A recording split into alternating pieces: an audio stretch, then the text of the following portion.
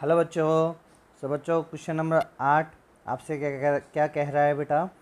आपसे question number आठ कह रहा है कि पट्टिकाओं के बीच वायु वाले एक समांतर पट्टिका संधारित्र की प्रत्येक पट्टिका का क्षेत्रफल ये दे रखा है आपको ए तो उनके बीच की दूरी आपको दे रखी थ्री एम एम संधारित्र की धारिता को परिकलित कीजिए। तो कर लेते बेटा हमारे पास।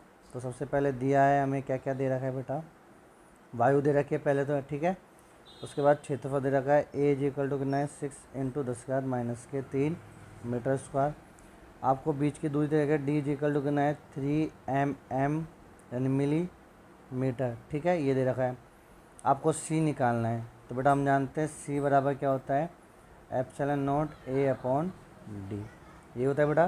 तो सी का मान यहाँ से एप्सलन नोट की वैल्यू कितनी होती है? Eight point eight five into दस का माइनस के बारह एक की वैल्यू कितनी दे रखी? सिक्स इंटू दस का माइनस के तीन डिवाइडेड बाय डी कितना दे रखा है आपको? थ्री इंटू दस का माइनस के तीन। ठीक है? ये तो हमें यहाँ दे रखा है। जो हम बेटा इसको सोल्व करेंगे तो सी इजिकल टू कितना आ रहा है हमारे पास? ऑलमोस्ट ऑलमोस्ट सत्रह पॉइंट सात इंटू दस का माइनस के बारह। ठीक है? एफ़ ओके बच्चों, चलो, ये तो हमने सी परिकलित कर लिया। आगे क्या कह रहा है? यदि इस संधारित्र को 100 वोल्ट के संवरण से जोड़ दिया जाए तो संधारित्र की प्रत्येक पट्टिका पर कितना आवेश होगा? तो बेटा, हमारे पास तो संधारित्र तो एक ही दे रखा है। ये लो ये लो डिशुम डिशुम किससे जोड़ देंगे हम इसको? 100 वोल्ट के साथ जोड़ देंगे।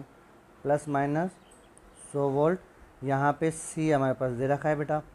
ठीक है, हमें आवेश निकालना है क्यू तो हम जानते हैं क्यू बराबर क्या होता है? सी वी तो सी कितना दे रखा है? सत्रह पॉइंट सात इंटू दस हज़ार माइनस के बारह।